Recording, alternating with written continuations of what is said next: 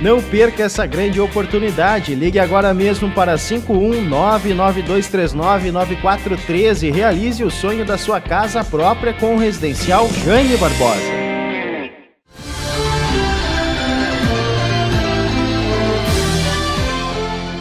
Após os bombeiros voluntários de TAPES realizarem a verificação das sangas e arroios do município, o comandante dos bombeiros voluntários de TAPES, Alessandro Vasque, falou sobre os cuidados que se deve ter em caso de alagamentos e enchentes. Por enquanto ainda está tranquilo. A gente não precisa ter nenhum pânico, porque a chuva não foi o suficiente para alagar totalmente nossa cidade.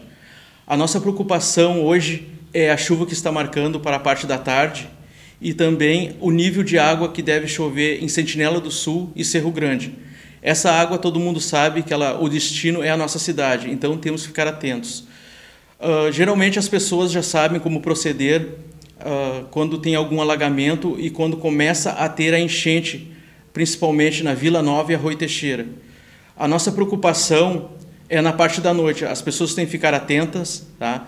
E possivelmente, se ver o nível da água subindo, avisar as autoridades, como a Brigada Militar e o Corpo de Bombeiros, que imediatamente acionará a Prefeitura Municipal para tomar as devidas providências.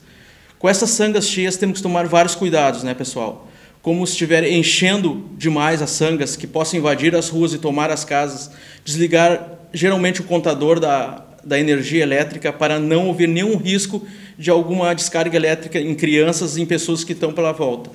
Também temos que tomar cuidado muito com as crianças na volta das sangas, tá?